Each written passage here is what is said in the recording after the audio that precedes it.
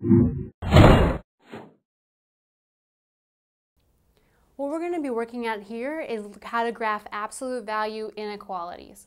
Absolute value inequalities. And what I want to do is show you guys a shortcut using a parent function so that when you guys see this in your homework, hopefully it'll go a little faster.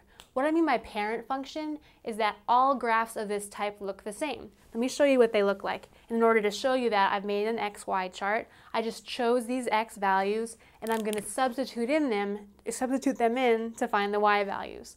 Like if I put negative 2 in there, absolute value-wise it, I get positive 2.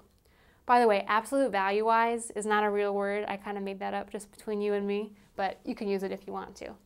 Negative 1, absolute value-wise becomes positive 1. Go through and fill it out like that, point by point.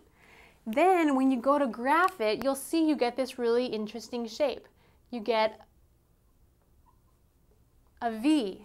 What I did was plot the points negative 2, 2, negative 1, 1, like that.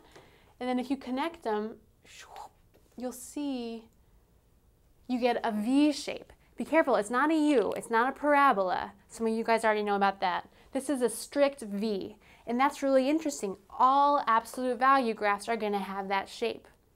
Now there's a couple other things to keep in mind. You know about inequalities. If it's one of these two signs, it's gonna be a solid line. But when it's one of these two signs, it's going to be a dashed line. So I might have like a solid V, like in our case, or sometimes you're going to have a dashy V. The last thing you guys know about inequalities is that there's some shading that happens. And the way you pick the shading is you get to choose any point you want to, any point that's not on your absolute value V. You substitute in your x and y pairs and see if you get a true inequality or not you're going to shade the parts that are true. Here's what I mean. Let's just say I picked the point 5, 1. I just randomly chose that point. You can use any point you want to. My x number is 5, my y number is 1. I'm going to put that in here. Is it true that 1 is greater than the absolute, excuse me, greater than or equal to 5? No, that's not true. No. This point is a no. That means don't shade here. You want to shade the other part. Instead of shading outside, it told me don't shade outside, shade inside.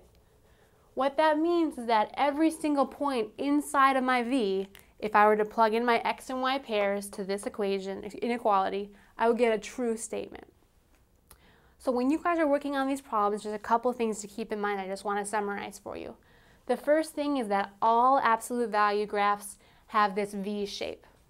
The next thing is that all inequalities are either going to be solid, if they're in the greater than or equal to or less than or equal to, or they might be dashy.